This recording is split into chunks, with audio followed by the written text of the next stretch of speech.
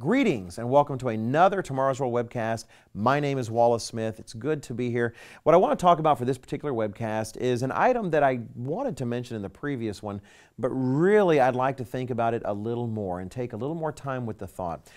In the wake of the terrible attacks in Paris of recent days, where currently the death toll has risen to at least 130, there were interviews with various ones in Paris, and there was a particular article that caught my attention.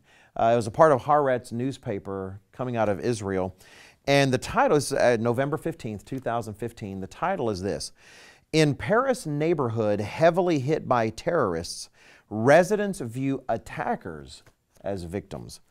Uh, there's quotes in here from folks they interviewed, and there was a particular group of, uh, I think, about three, and there was a young woman, Sabrina, amongst that group whose statement just jumped out at me. Uh, this paragraph talks about what she said. They're stupid, but they aren't evil uh, their friend Sabrina, an administrative worker in one of the theaters in the 11th arrondissement, said. They are victims of a system that excluded them from society. That's why they felt this doesn't belong to them and they could attack. There are those who live here in alienation, and we are all to blame for this alienation. Uh, let me jump ahead to another statement later in the article. Uh, this is just the, the author of the article writing. He says most residents of the 11th arrondissement are what the French call bobo, bohemian and bourgeois, uh, middle class academics in their 30s and 40s with clearly leftist leanings. He says now the restaurants and bars that they frequent every night were attacked and some of their friends were killed and wounded, and they were having a hard time reconciling this with their worldview.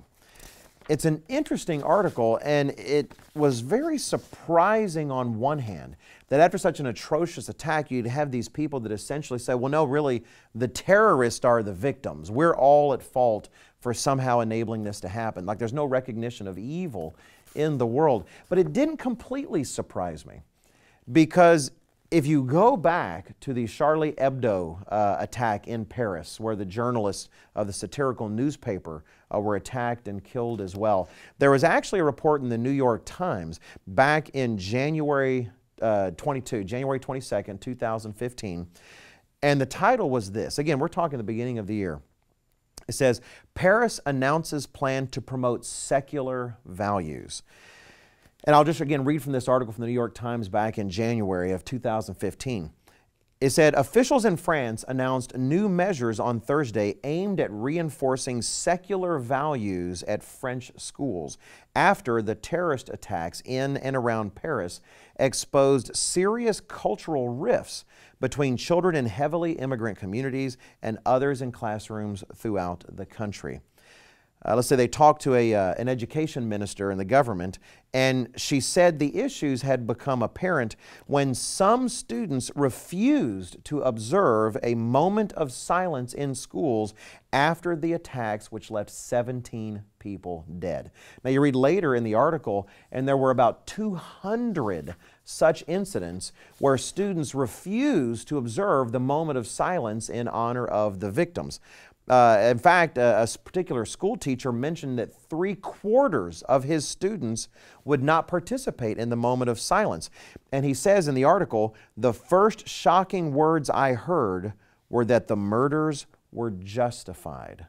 Uh, in fact, later it quotes a, uh, the general secretary of a particular um, uh, civil servants union in the educational field who said teachers were unprepared and didn't often find the words to confront students who criticized Charlie Hebdo.